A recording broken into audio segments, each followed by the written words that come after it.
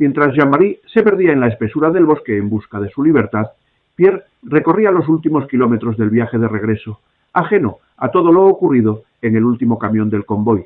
Pocos se dieron cuenta del acto del parisino, aunque esos pocos le envidiaron y sintieron no tener el coraje de su compañero de arma. Muchos se preguntaban a cada instante si merecía la pena tanto dolor, tanta desgracia, tanta muerte y destrucción. Los pensamientos de Pierre eran muy diferentes. Su convicción de que el sacrificio merecía la pena le permitió sobreponerse a las mil penalidades sufridas, a donde retornaba.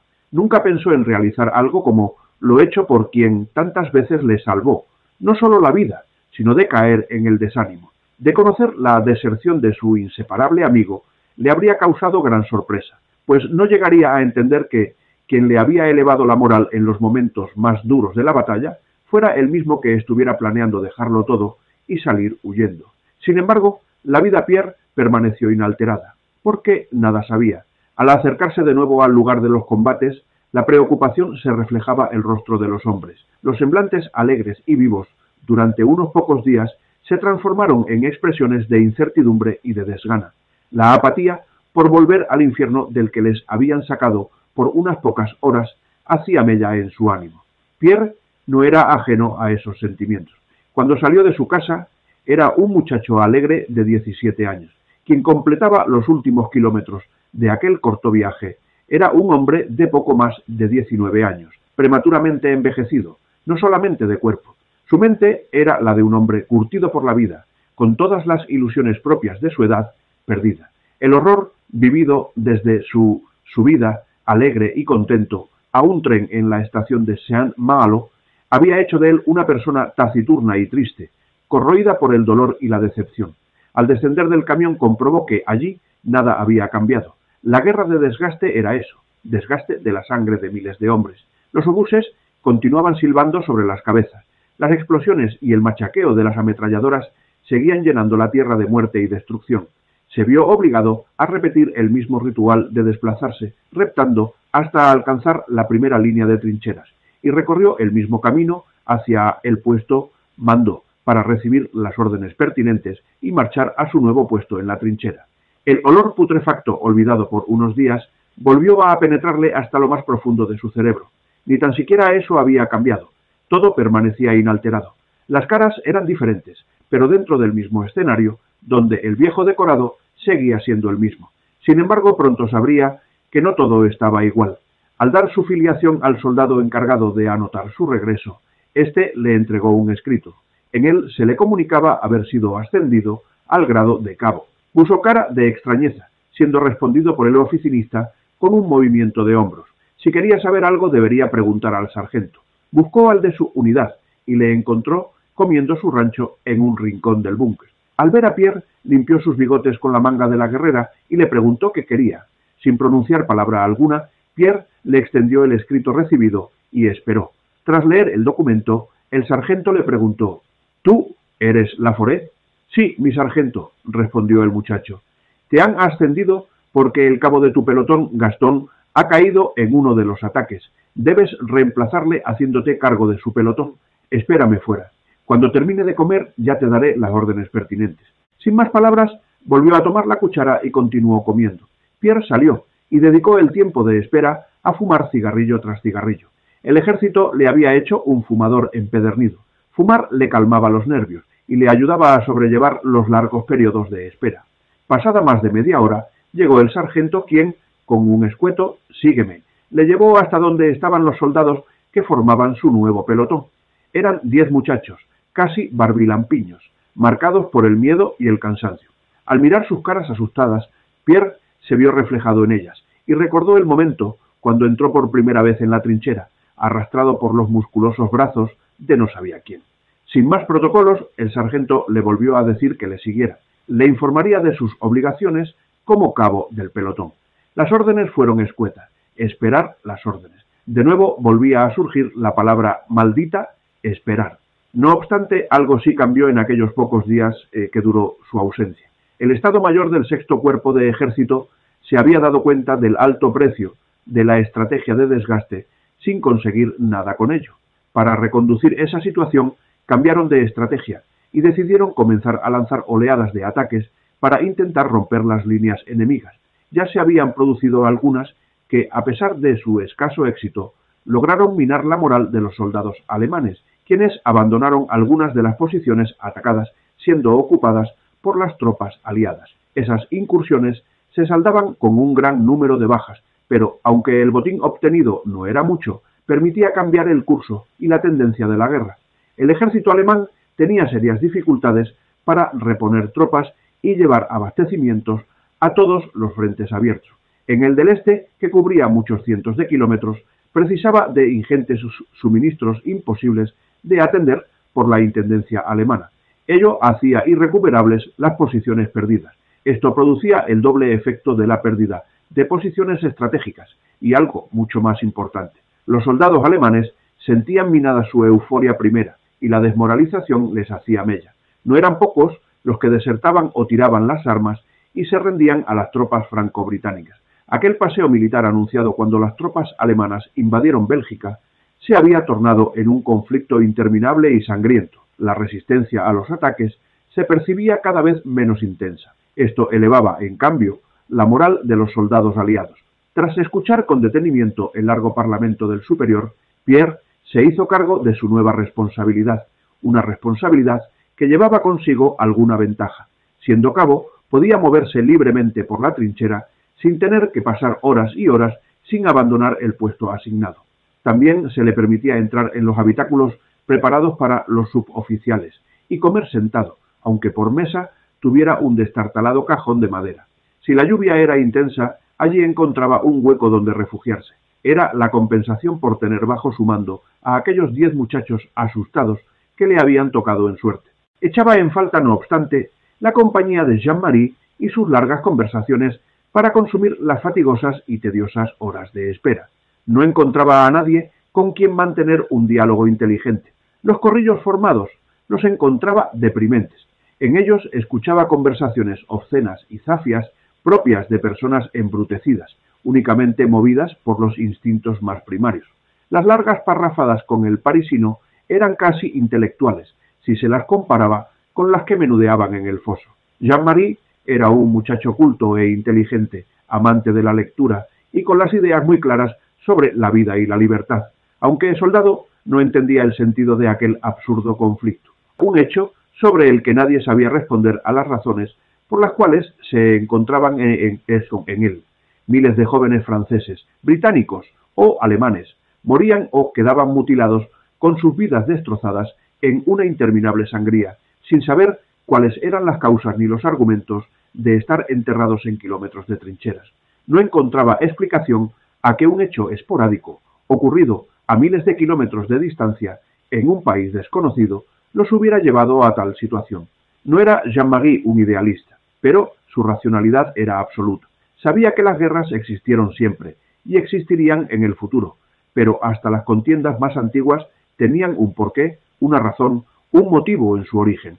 Sin embargo, aquel conflicto que estaba desangrando Europa no tenía ninguna razón lógica. Él la denominaba la guerra estúpida. Al recordar sus charlas y la forma de pensar de Jean-Marie, si conociera la deserción de su amigo, no le hubieses extrañado ahora esa decisión a nadie le gusta morir por una estupidez.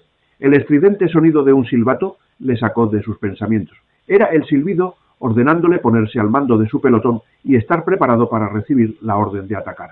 Sería aquella la primera vez que entraría en combate a campo abierto. Hasta ese momento sus intervenciones fueron pasivas, solamente disparar desde el parapeto de la trinchera cuando se producía alguna oleada por parte del ejército alemán. Ahora la situación se tornaba mucho más peligrosa debería salir a pecho descubierto y enfrentarse al fuego enemigo sin más protección que la suerte. La zona de mayor peligro era la tierra de nadie, la zona más batida por las piezas de artillería enemiga. Ese continuo bombardeo de la franja de nadie aportaba, por el contrario, un lado positivo. Los cráteres provocados por el impacto de los obuses servían de momentánea protección a las ráfagas de las ametralladoras y los disparos de los francotiradores. La suerte y la vista eran esenciales en aquel tipo de ataques.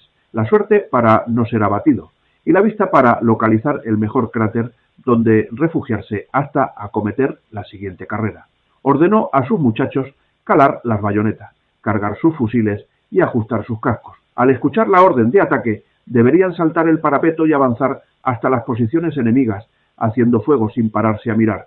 El fuego a discreción pretendía mantener a los defensores protegidos tras los parapetos y dificultar el uso de sus armas. Mantener el cuerpo en constante movimiento era imprescindible para evitar los disparos sin dificultad. Los defensores, de no moverse rápido los atacantes, podían tomarse el tiempo de apuntar a un blanco concreto. Si éste estaba en movimiento, la dificultad de acierto era mayor. Quienes hacían de Diana eran Pierre y los hombres de su pelotón.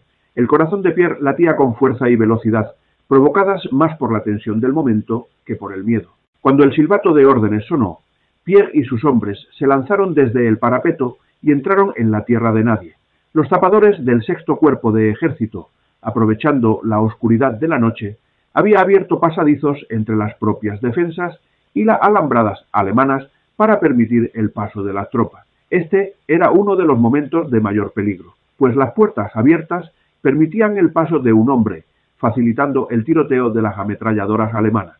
Tan pronto como los soldados franceses saltaron de las trincheras, comenzó a oírse el martilleo de los disparos y el silbar de las balas sobre sus cabezas. Aún les quedaban unos metros para encontrar refugio en los cráteres, comenzando a producirse las primeras bajas. El impacto de las balas sobre los cuerpos de los soldados producía un ruido seco y grave, conocido como el chup, al que seguían gritos de dolor de los hombres alcanzados.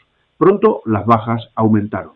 Pierre poco podía hacer por sus hombres, únicamente arengarlos para alcanzar cuanto antes la zona de los cráteres y encontrando en ellos protección hasta la siguiente oleada.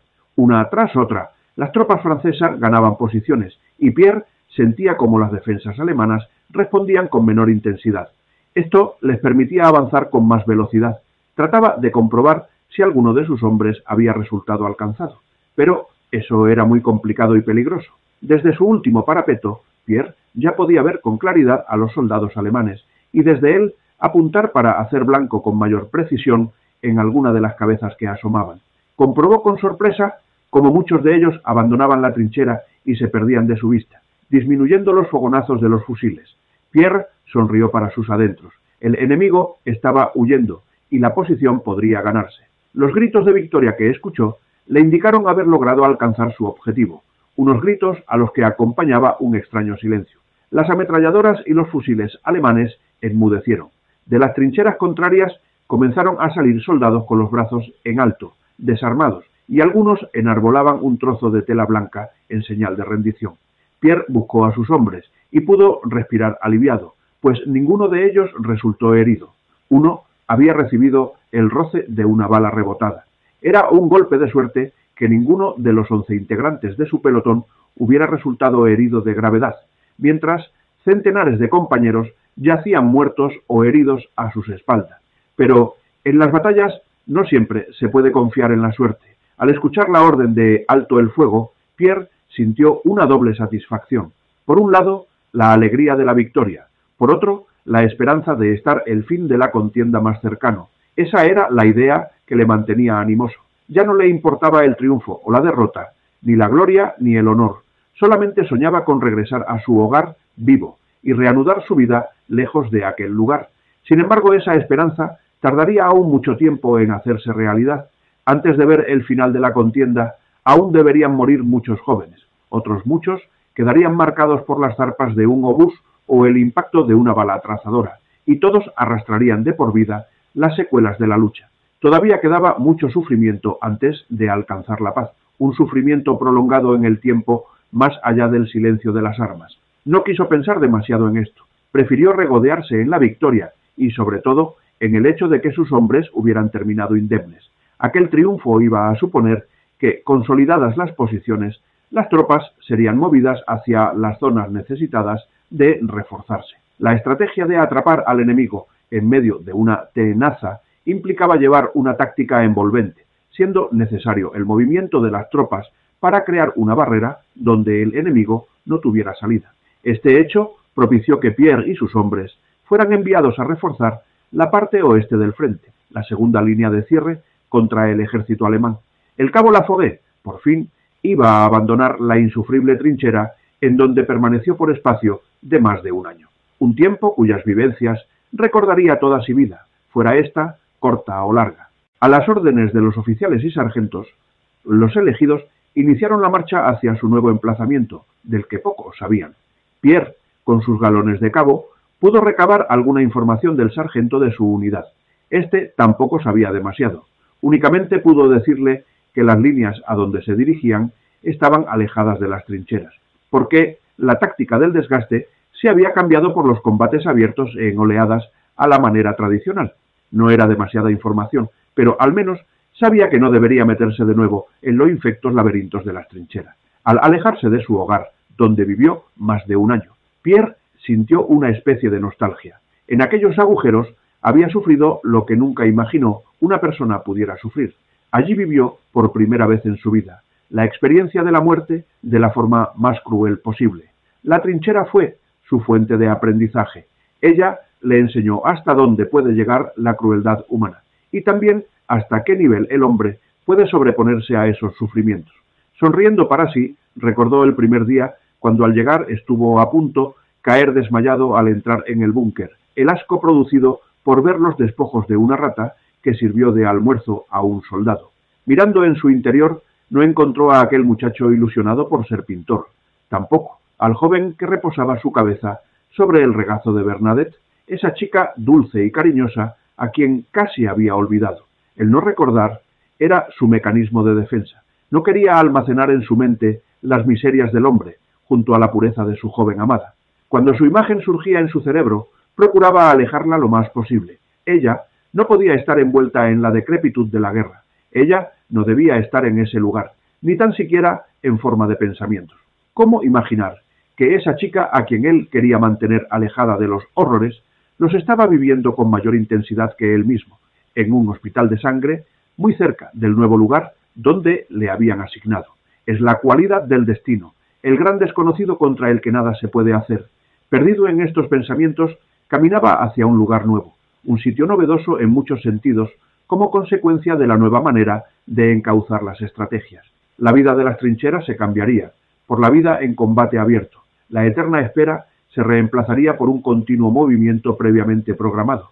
En definitiva, de la vida del tedio pasaría a la vida de acción, una manera diferente de enfrentarse a la muerte, porque en la guerra, de una forma o de otra, ella es la permanente y principal protagonista. La marcha hacia el nuevo destino de combate traería para Pierre el reencuentro con la naturaleza. Tras muchos meses en los que la vida se redujo a un espacio hediondo y mugriento, el pisar la verde hierba, poder mirar el vuelo de un pequeño gorrión y escuchar el murmullo de los árboles mecidos por la suave brisa de la mañana, significaba una forma de retornar a la vida normal.